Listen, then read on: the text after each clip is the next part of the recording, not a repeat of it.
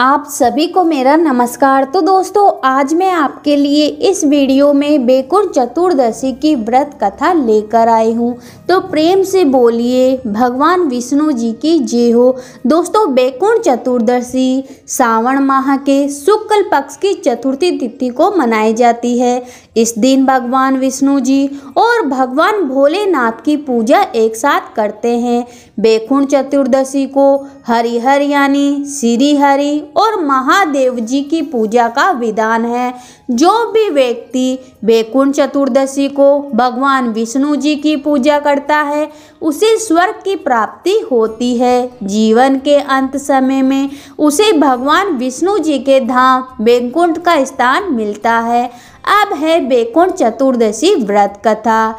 एक बार सृष्टि के पालनहार विष्णु देवादिदेव महादेव जी का पूजन करने के लिए काशी आए।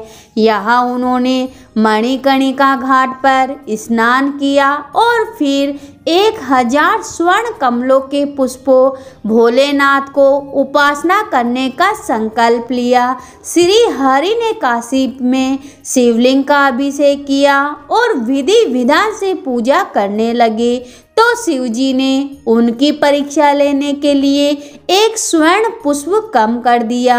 भगवान विष्णु जी को पुंडरीकाक्ष और कमल नयन भी कहा जाता है। ऐसे में पुष्प की कमी होने पर विष्णु जी ने अपने कमल समान नयन समर्पित करने लगे। श्री नारायण की भक्ति से प्रसन्न होकर शिव वहाँ प्रकट हुए। उसी दिन सावन शुक्ल की चतुर्दशी थी। भोलेनाथ बोले, आज से यह तिथि बेखुण चतुर्दशी कहलाएगी।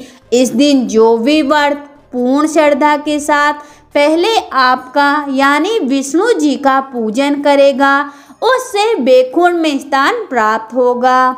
भगवान भोलेनाथ ने इसी दिन करोड़ों सूर्य की क्रांति के समान वाला सुदर्शन चक्र श्री हरि को प्रदान किया था।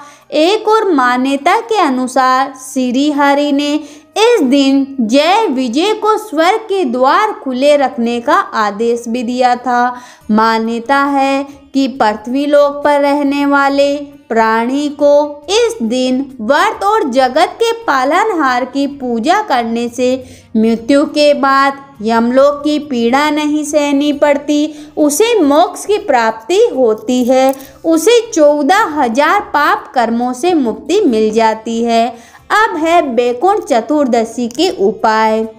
बेकुंठ चतुर्दशी के दिन आप भगवान विष्णु जी और भगवान शिव जी दोनों की पूजा करें। साथ ही इस दिन आप भगवान विष्णु जी को भेल पत्र भी चढ़ाए और भगवान शिव जी को तुलसी की पत्ती अर्पित करें। सिर्फ़ यह चीज़ आज ही के दिन हो। अर्पित करने वाला विधान है। ऐसा करने से आपके जीवन के सारे कष्ट कम हो जाएँगे और आपकी सारी मनोकामनाएँ पूर्ण होगी। मान्यता है कि इस दिन भगवान विष्णु जी ने शिव जी के प्रसन्न करने के लिए काशी में गंगा घाट के तट पर दीप प्रज्वलित किया था। इस दिन जो भी संध्या काल के समय तीर्थ घाटों पे पवित्र नदी के समान दीपदान करता है। उस पर महादेव सहित भगवान विष्णु जी की अपार कृपा बरसती है और उसका जीवन दीप की तरह प्रकाशित होता है।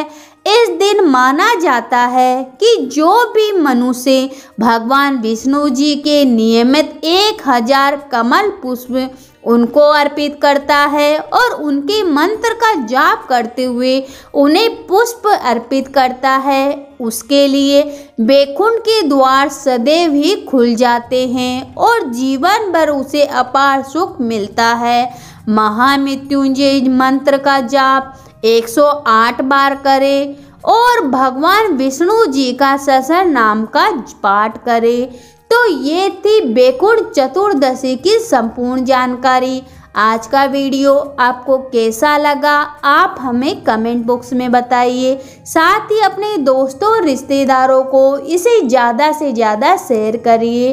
कहानी सुनने वाले, हुकारा भरने वाले सभी की भगवान भोलेनाथ और भगवान विष्णु जी सारी मनोकामनाएँ पूर्ण करे।